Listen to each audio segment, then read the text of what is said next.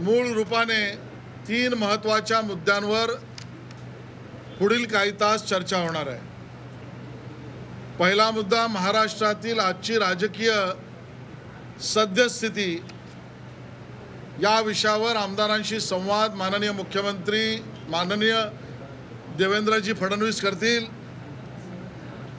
बरोबरीने अतिवृष्टीच्या अतिवृष्टीमुळे ज्या शेतकऱ्यांचं नुकसान झालं त्या शेतकऱ्यांना मदत पोचवण्याचा कार्यक्रम या विषयावर सर्व आमदारांशी चर्चा होईल.